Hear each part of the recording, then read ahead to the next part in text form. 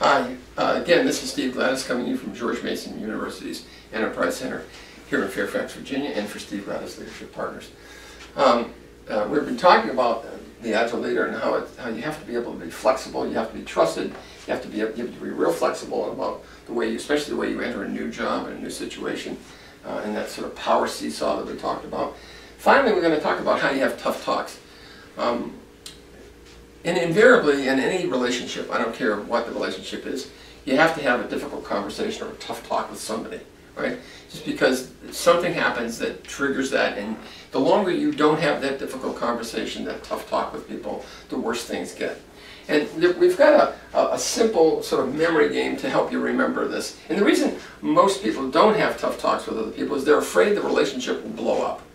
And in fact, it almost never does if you do this thing right um, if you have the conversation. I remember I, got a, I was working with an executive who, who was supposed to have a difficult conversation. It took him a few months to sort of get it going. He just didn't want to have this difficult conversation. He finally did and called me up and he said, you know, you won't believe what happened. And of course, in the back of my mind, I, I sort of said to myself, yeah, if you did it right, I, I, I won't believe what you said. I, I do know what's going to happen or what did happen. And he said, yeah, in fact, the, the guy responded really well. Oftentimes, when you have these tough talks, people, it resets the relationship. It gets the, it gets the unspoken words and the unspoken thoughts and the unspoken emotions out on the surface that you can really deal with them. So let's talk about the steps. The first is name it. First thing you have to do with, in a tough talk is actually name the problem.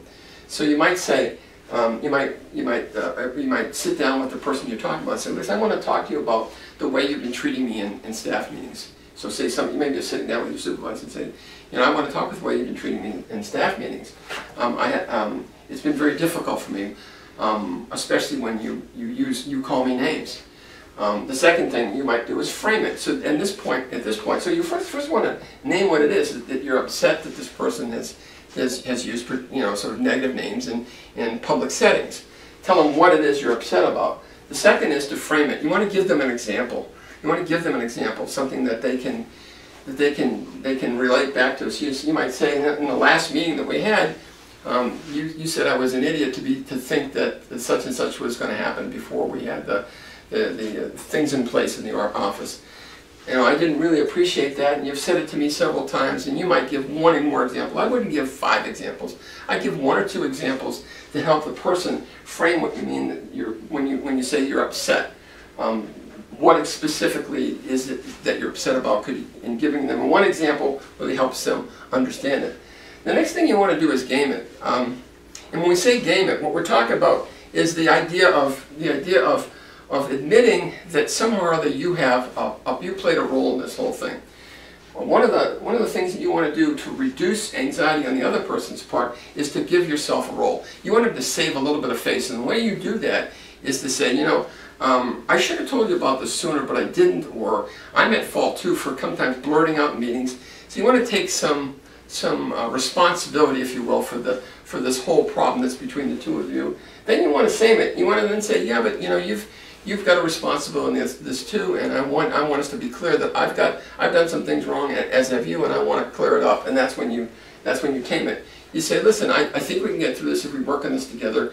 How about how about it? What do you think is going on?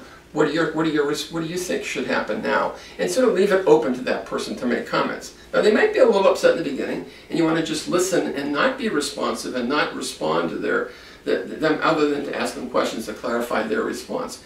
Typically people, after they've had a chance to talk, will kind of clarify, and then you have a, a, a pretty good discussion. The one thing you don't want to do throughout the whole process. You don't want to blame it. You want to say it's all your problem. It's all your fault. It's really something. It's a. It's something that's grown up between us that we need to talk about. We need to get out in the open.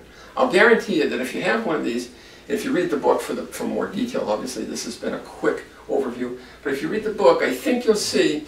You'll think you'll see how to do this, and if you try it first on a safe audience in the beginning, and then a more difficult one as you go down as you go down the road, you'll get better and better at doing these things.